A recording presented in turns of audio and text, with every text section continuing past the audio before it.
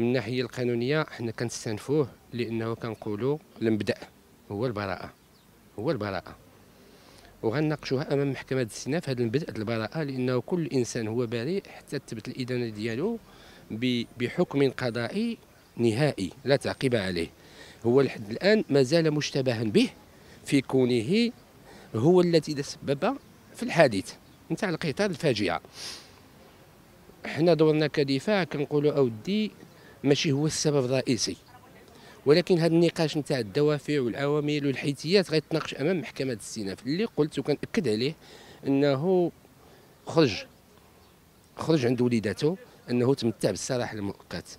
ما عدا ذلك الأطوار المحاكمة ديالو هذه خمس شهور وخمس أيام تقريبا آه، دازت في أجواء عادية أجواء عادية تمتع بها فيها بكافة الضمانات القانونية اللي كيعطيها له القانون أكثر من ذلك حتى الأريحية ديال المحكمة كانت كتعامل معاه بأريحية إلا كنت عيان نعطيوك الماء ولا نعطيوك الكرسي أو شيء من هذا القبيل بمعنى حقوقه كانت مضمونة بالدفاع ديالو بطبيعة الحال. دلينا بمجموعة من الدفعات الأولية ومن الدفعات الشكلية اللي غتناقشها المحكمة واللي غنشوفوها في المنطوق نتاع الحكم. في حيثياته عاد ممكن نناقشوها أمام الجهة المختصة اللي هي القضاء. ماشي الصحافة أو العموم أو لم نكون نشيروا ابدا. ديالنا البراءة. كنطلبوا البراءه ديالو ويتحاسبوا المسؤولين الحقيقيين.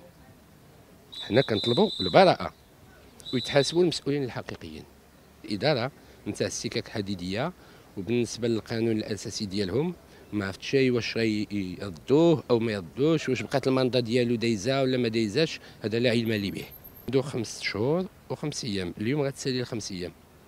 داكوغ اجراءات اداريه نتاع المؤسسه السجنيه هذا هو عادي مساله عاديه ماشي ما, ما معتقلش تاع السفيين دابا هو محكوم على أساس انه خصو يخرج الحكم اللي قضى البارح قضى بما قضاه يعني خمس شهور وخمسه أيام اليوم غتسالي خمسه أيام